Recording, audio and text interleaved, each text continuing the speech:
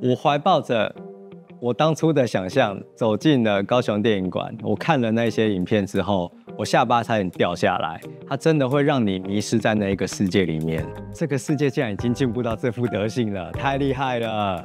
我是陈夏明，我开出版社，也开过书店，是跟书相爱相杀的男人。我看了范谷的调色盘，我内心那一种创作的欲望完全被唤醒。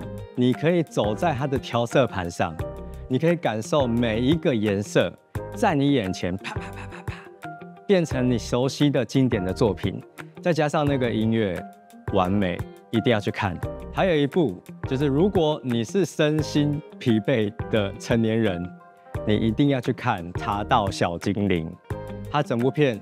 真的没有在干嘛，你就是坐在那边，拿着一个茶杯，就有一个小精灵会从茶杯冒出来，超级疗愈。我觉得青春有一个重要的概念，不要害怕修正。我今天犯了错，我可以勇敢的面对它，去修正它。这种青春的勇气是很多的人无法具备的。所以，当你还有修正的勇气，表示你的内心是非常非常的青春。二零二四高雄电影节，青春不喊卡，不来的话，你一定会后悔的，一定要去看，一定要去看。